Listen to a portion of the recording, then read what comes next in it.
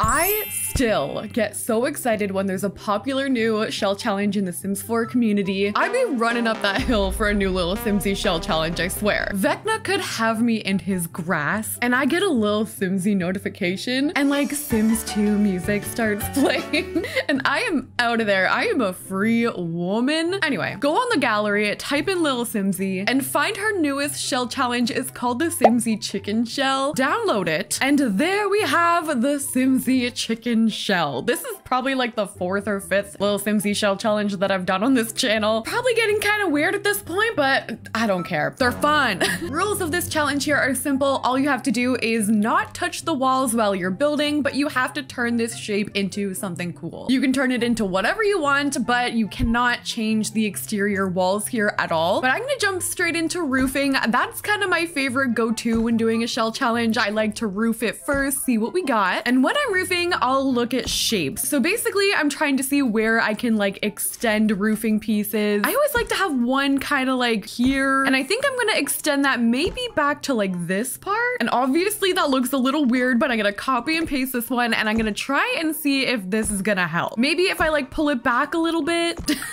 no, let's do that one there. And then let's put one here maybe just for like a little added detail. I have been outside a lot lately. I've been out there living my little gardener life. So I feel like gardening has been on my mind a lot this summer. I'm thinking for the style, I've done a whole build series about gardening, so I'm not gonna like go down that road again. But it could be a cute little cottage, maybe like whimsical vibe. So now that I have my roofing done, I'm going in with some platforms to make more designs on this. This shell had a few weird features going on, mostly like this weird like two wall like bump out there and this here. So I think this is gonna be my front entryway. I'm bringing in some of the adjusters here for my roofing. In terms of roofing, I think that looks pretty cute. Okay, let's find some columns. I think I wanna go with maybe these ones here from base game today. So I'm gonna put that on the side of there because I feel like that one wall just looks weird. And then I can add them here to my patio. And I always feel like it looks really weird when columns stick out like that. Like Sims 4, please give us free moving columns. It's due time. But anyway, we're gonna fix that there with this thicker trim just so that you can't see the edges like hanging out like that. We're just gonna go like that. I'm gonna do the same thing over here and there is gonna be like the basis of our house. I do think I'm gonna change the wall height because I wanna play around with platforms today. So I'm gonna draw out my platforms. I know here is gonna obviously be a little patio. We can extend it all the way to the front, maybe do like something here. I can bring out my entryway and maybe just like connect it together like something like that. I think I want this one to be on a higher level and this one to be a little bit higher as well. I think that's gonna add just a little bit of dimension and now we can go in with some kind of flooring. I'm thinking like a hardwood. I really want to build for like maybe an elder today, but I do want it to be colorful. I don't think I've done a blue Lilsimsie shell challenge in a while, but it's just so fitting. I'm gonna go in with this muted blue from Spa Day. We'll change our roofing to like a brown color there. And because of my platforms, I'm gonna have a few issues with my roofing. Just some kind of glitch in The Sims 4 does that. I think to counteract that, I'm gonna have to bring my platform all the way to the front, just so we don't see that. We're gonna add some platform trim. I'm gonna do this tiled flooring here from Get Famous on my platforms. And now I think I'm gonna start to add my windows and doors. And I said I wanted to go colorful today. What if we attempted to use these like lime green shutters from Cottage Living? I think it's gonna work. The blue is just muted enough that I think I should be able to get away with it. So we'll do those shutters there. I'm gonna go in with maybe like this one at the front. And then for my door, I think I'm gonna use that lime green one as well. My favorite thing about small Sims 4 shell challenges or small houses in The Sims in general is that we're gonna go in with so much detail. We have the time, we're gonna have the patience to do it, hopefully. Also from The Sims 4 Cottage Living, I've been adding these here to my builds recently, and I'm gonna show you a good way to do it. So originally I would just like put them on my roof like that, but you can actually go in, hold shift on your keyboard, and that'll allow you to just pull out this one adjuster. So clicking on this arrow here, I'm just gonna like pull it right over top of that, and that'll hide the extra roofing part of that item underneath your already existing roofing. I feel like it looks a lot cleaner. It's a little weird because of the overhang, but I'm gonna compensate for that by using just like some of these in there, just adding some details so it looks a little bit normal. I'm gonna open up debug, bb.show live edit objects. I think I just want it for landscaping today today because Strangerville has this really cute green awning that I want to use. I'm just gonna raise that up using Control 9 on my keyboard, and we're just gonna put that right over top of the windows that we just added. I think some pink would be really cute added to this. I'm looking at those flowers, pulling some colors from there, and I think it would be really fitting if we got Nifty Knitting and used some of these in like pink. yeah, like two pink rockers right here. We can get just like a small outdoor table, and that means our landscaping can be pink. I'm a big old fan of pink landscaping. pink and yellow are my go-to. I need to like get garden flowers for my real house. I currently have literally no landscaping outside and it's driving me crazy. It's like, welcome to my house. Here's a massive mountain of dirt. Gotta add a mailbox right there, add a chimney, and I think I'm gonna use these here from Eco Lifestyle. I'm gonna just extend on what we've got here already by adding another design. So I'm gonna go in and use both of these items from Eco Lifestyle, just forming like a crisscross pattern. And I'm gonna do the same thing over here with our other patio. For landscaping, we're gonna do a little bit of terrain paint. I'm gonna keep it pretty simple, just leading out, but I picture flamingos in this build. So I'm gonna just add those so I don't forget. You guys just hang out for a hot minute. Ooh, we could go in with another debug Strangerville item. This is just gonna be a regular white fence. I think I'm gonna bring that around to about here. I feel like debug sometimes is like thrift shopping in The Sims 4. It's like you can find some secret hidden items that are still not custom content and people are like, oh, where'd you get that? And you're like, oh, I just searched for hours through the catalog of debug. And some people are like, yeah, I am not doing that, but hey, good find. Okay, so with all my landscaping, most of this was found in debug. This is what it's looking like. We have a cute little pond here at the front. Our flamingos are just chilling. We've got our rocking chairs there at the front. And yeah, these cute trees, I think they were from my wedding stories. Then around the back, we've got this cute little area. I have a picnic table, some other my wedding stories decor from debug, my laundry day stuff here, and just some other added details that I thought looked really cute back here. I added some more flamingos. I do think I need a little something in there still, so let's see what kind of swatches we have for this here. I feel like I could find something that matches our color scheme. Like this one looks pretty good. Let's get that swatch for these chairs and we'll put them in here with like a little hanging light and this can be just a little conversation area. Ooh, with like a ceiling fan. This house could totally also have these. Okay, I'm gonna get carried away with adding like the eclectic weird backyard landscaping. I gotta stop. Okay, there we go. I added more of those little flowers. This is what the outside of our house is looking like. Let's go inside. I, is that like, I have paint in my hair. I was outside painting yesterday. Dude, now that's gonna look like gray hair. Okay, I have gray hair, but that's not one of them, all right?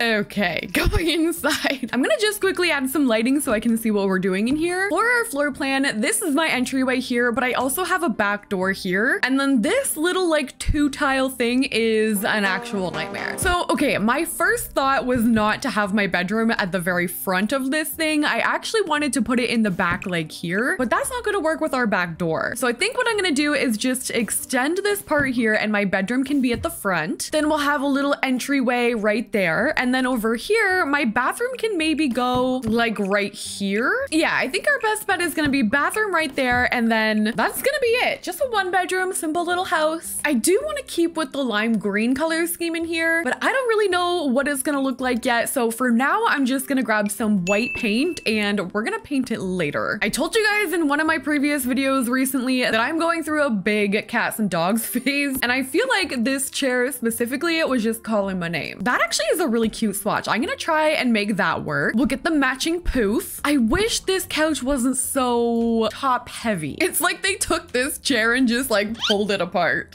One thing I know we're gonna need for sure is a fireplace. So I'm gonna put that here and go from there. Ooh, that swatch is really pretty. I'm considering going blue for this for the pure reason that I wanna match this chair. We're gonna put this TV on top. I don't know how many times we're gonna change this color scheme here before it works out, but I'm on color change number like five already. I think we're on to something though. I like how this is looking. Okay, I'm leaving it here. Final answer is bold. I don't think I've ever used this color, but we're staying. I've added this here from Cats and Dogs as like a windowsill. I think it's gonna look super cute with some clutter on there. We have to get that knitting thing because we do have the knitting like rocking chairs outside. Okay, there we go. That bookshelf pulling it all together. I'm gonna need some kind of like hallway table for this. Let me tell you, this orangey wood is not something easy to pull off. Okay, remember when I said I was done changing the wallpaper last time. I'm not, but here we are. I'm gonna leave it. I need to literally walk away. Otherwise, I'm gonna be here for hours. I'm gonna turn around and do the other side. This is where we're gonna be doing the kitchen and everything. So let's go ahead and get something cute to put in here. I'm thinking like this could look nice. And looking at this, I was thinking that could be a good spot for like laundry. That's that awkward like two tile thing that I don't know what to do about. I think we could do a pantry in there. So I'm gonna line that back area there with shelves. I could maybe put a counter down below there. Oh, definitely with these. I've been trying to find like these wood tones that match throughout all the different packs and it's so hard. I'm gonna try and do oven here, counters, shelving like that, and I'm gonna try and make this work. I'm feeling extra patient today, so I'm gonna be going in debug and finding some more like thrifty items from there. There are tons of fun pantry items in here from base game, like those are supposed to be macaroni. Got some fertilizer, elixir of fertility. I didn't know we had this kind of stuff in outdoor retreat. Fungal infusion fertilizer.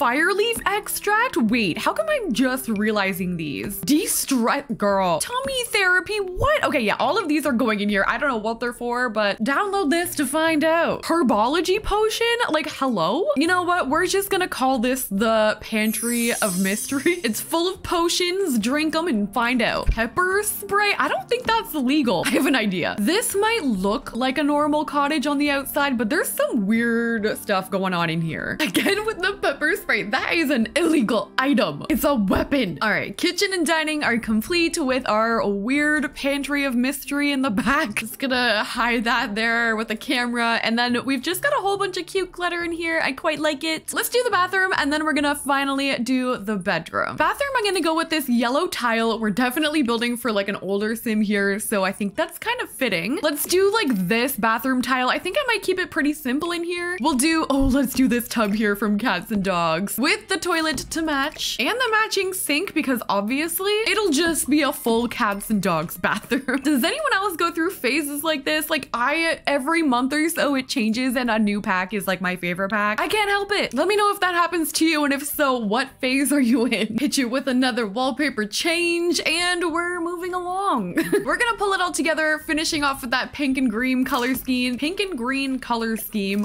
I'm gonna use that pink bed there. I wanna make sure that our Sims can get back there, maybe my bed would be best there. I'm gonna use stools as my end tables because I don't know if I have much room to fit anything else. And I'm gonna put these on top, I think. Ooh, that looks cute. Okay, I need to do a dresser maybe over here, or I can see like a vanity maybe. Cute, okay. I need a plant in the corner, some pictures on the wall. I might put another like stand-up mirror right there. Okay, looking cute so far. I do still need a dresser, so I think over here I'm gonna have to find something to stand up right there. And there we go. I think this is how I'm gonna gonna leave it. I've got some cats and dogs furniture in here, a bookshelf, a dresser. I also added some more cats and dogs art over there. On this side, we have wall art from Cottage Living and our little vanity in the corner. I think this turned out so cute. Such a precious little like build. And that is how our little Simsy Shell challenge turned out this time. I hope you guys enjoyed it. I will put this on the gallery under Sydney Macoretta if you want to download it. And Lilsimsie's link to her video will be down below so you can see how she did it. If you guys like this video, don't forget to like, comment, and subscribe subscribe, and thank you guys so much for watching. I'll see you in the next one.